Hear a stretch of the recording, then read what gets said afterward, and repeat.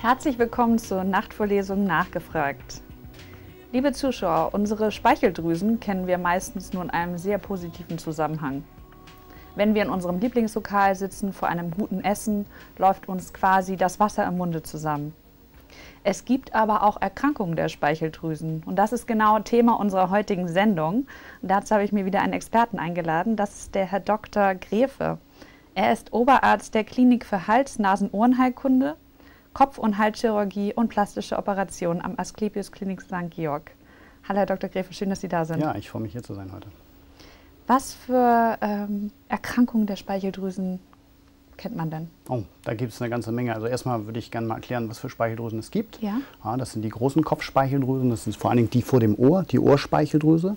Dann haben wir noch eine Unterkieferspeicheldrüse, die befindet sich hier unten, unter dem Unterkiefer. Und es gibt noch eine unter der Zunge, die kann man aber so von außen nicht tasten. Und es gibt noch ganz viele im Bereich der Zunge und der Mundschleimhaut und im Bereich der Lippen. Das sind so die kleinen Speicheldrüsen. Und die können theoretisch alle erkranken, wobei das natürlich nicht so häufig ist. Häufig ist, dass die großen Ohrspeicheldrüsen erkranken. Ja.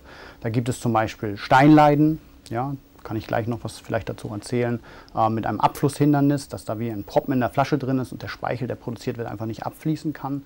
Und dann gibt es natürlich auch gutartige Raumforderungen im Bereich der Ohrspeicheldrüse und der Unterkieferspeicheldrüse, die man dann auch mal abklären muss, weil in seltenen Fällen da auch mal was Bösartiges drin stecken kann. Aber die, die ähm, Speicheldrüsenerkrankungen, die bösartig sind, sind sehr, sehr selten.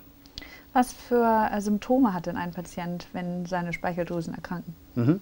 Das hängt auch wieder ein bisschen davon ab, welche Art von Erkrankung wir haben. Eben bei den ähm, Steinleiden ist es so, dass wir häufig, wenn wir essen, den Speichel ja vermehrt produzieren. Der kann dann nicht abfließen und Drüse versucht dann dagegen anzuarbeiten. Und das gibt dann eine Drüsenschwellung. Und das ist so, dass es akut dann wirklich wehtut und dick wird. Ne? Also man hat ja richtig so ein Ei unter dem Unterkiefer, das, das schmerzt den Patienten und dann äh, mag er auch nicht mehr so richtig essen. Ja? Das ist so das Typische, was man hat, wenn man so einen Steinleiden hat. Bei den gutartigen Raumforderungen der der Speicheldrüsen ist es so, dass die Patienten häufig tasten, da stimmt irgendwas nicht, wenn das eine gewisse Größe erreicht hat. Zum Beispiel die Männer merken das häufig, wenn sie sich rasieren, dass da irgendwas nicht stimmt. Oder die Frauen merken das beim Eincremen des Halses irgendwann, wenn es eine gewisse Größe hat. Dort gibt es häufig keine zusätzlichen Beschwerden. Das ist einfach nur, dass es da diese Schwellung vorliegt. Die haben also keine Schmerzen und es ist auch nicht gerötet oder sonst irgendwelche Sachen, die dazukommen. Wie kommt es denn dazu? Also was sind mögliche Ursachen? Ja, also für die, für die gutartigen ähm, Speicheldrüsenerkrankungen wissen wir nicht genau, was die Ursache dafür ist. Das sind einfach ähm, Geschwulst, die sich dort bilden. Manchmal sind es vielleicht Lymphknoten, die Probleme machen, aber häufig sind es eben so, ähm, so gutartige Tumoren, die sich dort bilden und die Ursache ist eigentlich weitgehend unbekannt. Vielleicht äh, hilft viel Trinken, also ganz ja, einfach also gedacht. Sie, Sie, können, Sie können durch das viele Trinken können Sie den Speichel flüssiger machen und dieses könnte einem Steinleiden vorbeugen. Und wenn Sie so ganz viele kleine Konkremente im Gang haben, können Sie die auch mit dem vielen Trinken rausspülen. Also es ist immer eine Empfehlung, dass die Patienten viel trinken, dass die, wenn sie Probleme mit dem, mit dem äh, Speicheldrüsen haben und dass sie auch ähm, speichelfördernde Maßnahmen machen. Das heißt also saure Drops lutschen, Kaugummi kauen und eben auch die Drüse massieren, um diese Sachen alle rauszubringen, die da eventuell drin sind. Wenn jetzt ein Patient äh, Speichelsteine entwickelt hat, Ja. äh, wie kann man da vorgehen? Ja. Also erstmal macht man eine Untersuchung, ja, man guckt von außen, tastet die Drüse ab, ob dort irgendwelche Resistenzen zu tasten sind, wobei man die größeren Steine eigentlich nur tasten kann. Wenn die klein sind, die Steine, dann kann man die nicht tasten. Also so, ähm, die müssen schon ein ordentliches Kaliber haben. Was man dann machen würde, ist eine Ultraschalluntersuchung, dass man einfach den Schallkopf mal draufhält und guckt, was fällt mir in der Drüse auf? Ist die vergrößert? Ist die irgendwie vom, vom Gewebe her aufgelockert? Kann ich eventuell schon Steine sehen? Die sind nämlich schalldicht und dann sehe ich so einen richtigen Schatten dahinter. Oder ich kann dem Patienten auch was Saures geben, dann wird ordentlich viel Speichel produziert und dann kann man zum Beispiel sehen, wenn der Gang aufgestaut ist, dass dort vielleicht irgendwo ein Stein ist. Das ist dann so ein indirektes Zeichen für einen Stein. Die Steine sieht man beim guten Ultraschall inzwischen schon ab einer Größe von ca. 2 bis 3 Millimeter kann man die sehen. Ja. Und was macht man denn, wenn man so einen entdeckt hat? Ja. Können die sich auch wieder auflösen einfach? Ja, das, das wäre schön, das funktioniert leider nicht. Also medikamentös bekommt man das Ganze nicht weg. Man kann es, wie gesagt, unterstützen mit dem speichelfördernden Maßnahmen. Ja. Kleine Konkremente werden eventuell mal hinausgespült, einfach aus dem Gang. In der Regel funktioniert es aber nicht so, dass man was machen muss. Und dann ist es so ein bisschen ein, ein Stufen, ein Stufenschema und es hängt ein bisschen davon ab, welche Speicheldrüse denn ganz genau betroffen ist. Es gibt also Drüsen, die kann man etwas härter angehen. Das ist zum Beispiel die Unterkieferspeicheldrüse, weil dort nicht so relevante Nerven in der Nähe sind, wie zum Beispiel bei der Ohrspeicheldrüse. Da ist der Gesichtsnerv, der kommt hier ungefähr an dem Knochen hinten raus und zieht sich durch die Drüse verfächert und ist für die Mimik des gesamten Gesichts zuständig. Also wenn Sie das Auge schließen, wenn Sie die Stirn kräuseln oder so, die Wangen aufblasen, dann brauchen Sie diesen Nerv. Und wenn man den jetzt kaputt machen würde, dann hätten Sie dort schon äh, größere Ausfälle mit Problemen. Trockenes Auge, der Mundwinkel hängt und das ist einfach nicht ästhetisch und funktionell einfach auch nicht so schön. Aber man kann dieses natürlich trotzdem operieren und man kann diesen Nerven auch erhalten. Und das ist auch die Regel, dass das erhalten wird und dass es keine Probleme gibt. Probleme im Bereich des Nerven sind sehr, sehr selten dann.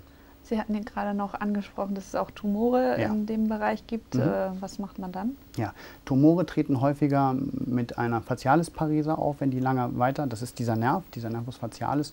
Und äh, dann muss man das schon etwas radikaler operieren, dass man die Drüse halt komplett entfernt und dass man sich auch die Lymphknoten dann häufig mit anschaut an der Halsseite, diese Lymphknoten mit untersucht und eventuell muss ich dann auch noch irgendeine Strahlentherapie an diese bösartigen Raumforderungen, die wirklich sehr selten sind, anschließen. Machen die sich irgendwie anders bemerkbar als die normalen Speichelsteine, die nicht bösartig sind? Naja, es ist ja, ähm, das sind ja ganz andere Tumoren und kein Abflusshindernis ja. in dem Sinne, sondern es ist eigentlich die Raumforderung, die wächst. Ja, es ist ähm, auch eine schmerzlose Raumforderung, die zunimmt und häufig ist eben, dass diese, diese Nervenlähmung dazukommt, so als eins der ersten Symptome. Und dann haben die Patienten natürlich noch allgemeine Tumorbeschwerden eventuell, wie Gewichtsverlust, wie eine Reduktion des Allgemeinbefindens und denen geht, geht es einfach nicht so richtig gut. Das Problem ist, von außen zu sagen, ist es etwas Gutartiges oder ist es vielleicht etwas Bösartiges. Und da sind wir dann an dem Punkt, dass wir halt ein Bild machen müssen, zum Beispiel eine Kernspinnuntersuchung. Und dann wissen wir es meistens immer noch nicht. Dann kann man versuchen, mit einer dünnen Nadel ein paar von diesen Zellen herauszubekommen. So ein bisschen wie Blut abnehmen, nur eben am Kopf. Und die kann man untersuchen und da wissen wir es meistens immer noch nicht, sodass man dann diese Raumforderung tatsächlich in einer Operation entfernen muss und dem Pathologen für einen Schnellschnitt zuführen muss. Und der kann uns dann sagen, mach dies oder mach das. Da gibt es aber natürlich die gängigen OP-Risiken, aber wie ist da sonst so das Risiko? Ja, also das Problem, wie gesagt, ist der Gesichtsnerv, ja. den man halt darstellen muss. Das macht man mit der Lupenbrille oder dem Mikroskop, dass man diese Verästelung sehen kann und dann kann man das sehr gut umschiffen eigentlich und dass man dem Nerv nichts tun muss. Wenn der Nerv natürlich in dieser Tumormasse quasi eingebacken ist, dann muss man ihn auch gegebenenfalls resizieren. Das führt halt zu diesen ganzen Lähmungen. Die kann man dann aber in einem zweiten Griff auch kosmetisch wieder verschönern durch Zügelplastiken, durch statisches Aufhängen, durch zum Beispiel ein kleines Implantat im Oberlid, dass das Auge auch wirklich wieder schließt. Öffnen tut es nämlich durch einen anderen äh, Muskel, einen anderen Nerv und dann kann man das eigentlich ganz schön wieder hinbekommen. Ja. Also deswegen sind Sie ja auch nicht nur auf die HNO-Heilkunde und Operationen in dem Bereich spezialisiert, sondern auch auf klassische Operationen der Richtig, Abteilung. genau. Das ist sozusagen der Schwerpunkt, weil wenn wir sozusagen dieses Problem anrichten, dann muss man das auch beheben können und deswegen machen wir auch viel plastische Sachen dazu.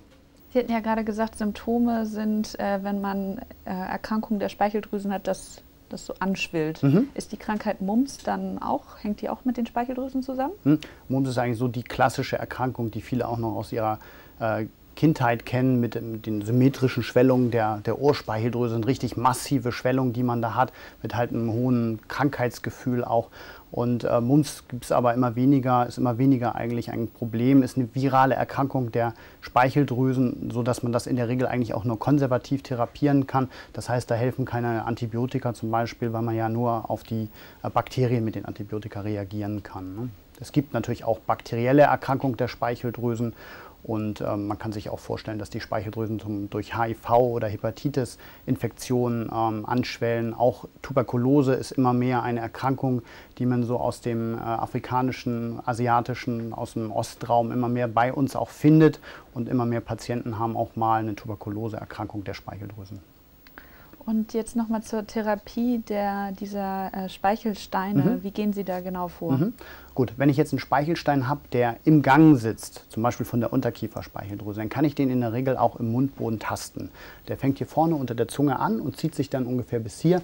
Und man kann diesen Stein, wenn man ihn tasten kann, eigentlich in einer lokalen Betäubung auch sehr schön entfernen. Das macht, indem man eine Gangschlitzung macht. Das kann man also wirklich gut betäuben. Dann kann man das schön sondieren, dann schneidet man den Gang ein bisschen auf und entfernt den Stein. Das ist eine Sache von äh, wenigen Minuten, also 10 bis 15 Minuten dauert es. Der Patient ist sofort beschwerdefrei. Der ähm, ganze ähm, Speichel kommt im Schwall aus der Drüse und die sind immer ganz, ganz glücklich, die Patienten. Wenn der Stein weiter hinten im Bereich des Drüsenhilus sitzt, das ist also der Bereich, wo quasi die Drüse in den Gang übergeht, dann ist es manchmal ein bisschen schwierig, das in einer lokalen Betäubung zu machen, weil die Patienten natürlich auch einen Würgereiz haben und das doch etwas unangenehmer wird. Das macht man dann gern in einer Vollnarkose, aber auch hier kann man die Steine eigentlich bis zur Drüse vorsichtig rausbekommen. Häufig ist es so, dass der Speichel dann nicht mehr vorne aus dem Gang rauskommt, sondern hinten, weil man wie so einen neuen Ausgang schafft. Wenn die Steine in der Drüse drin liegen, ist es etwas anders. Dann muss man schauen, ob man sie mit einem Endoskop rausbekommt. Und die Endoskope inzwischen sind ganz klein. Es ist wirklich so wie ähm, eine Miniaturausgabe zum Beispiel von einer Magenspiegelung. Ganz dünn wie, wie die Mine eines Kugelschreibers und noch dünner. Und die kann man dann vorschieben. Ich habe dann einen großen Monitor, auf dem ich verfolgen kann, was ich tue. Und wenn ich da ein Steinchen sehe, kann ich versuchen, das zu entfernen. Nun ist es so, wenn die Steine zu groß werden, dann werde ich sie aus der Drüse nicht hinausbekommen, weil der Gang auch nur wenige, einen ganz kleinen Millimeter Durchmesser hat und etwas größer. Dann muss man versuchen, diese Steine entweder mit dem Laser zu verkleinern, was wir können. Wir haben so eine gewisse Laserfaser, da können wir das dann mit klein schießen. Man kann das auch mit einem Zängelchen ein bisschen kaputt machen oder man kann es versuchen, mit Stoßwellen von außen zu machen. Das ist auch ein Verfahren, was äh, viel diskutiert wird, weil es nicht in allen Fällen die Patienten wirklich steinfrei macht. Ja, das ist nur, dass man diese Steine fragmentiert und dann hinausbekommt. Aber wir setzen den Laser ein und haben damit dann eigentlich gute Erfahrungen gemacht gibt auch noch so Steinfangkörbchen, die schieben Sie da rein, die können Sie so aufklappen und dann wie ein Korb umschließt es dann den Stein und den kann man dann vorsichtig aus der Drüse ziehen. Die Unterkieferspeicheldrüse kann man entbehren, eher mal als die anderen Speicheldrüsen. Kleinen Schnitt von außen, dann wird die Drüse entfernt in einer Vollnarkose und der Patient ist auch beschwerdefrei.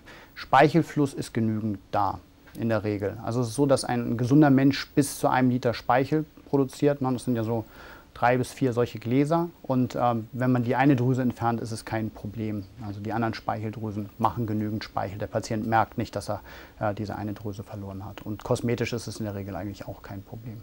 Bei der Ohrspeicheldrüse kann man nicht im Bereich des Ganges schneiden, weil man dann quasi schon in der Wange wäre. Die kommt hier oben im Bereich so des zweiten Zahns raus, im Oberkiefer.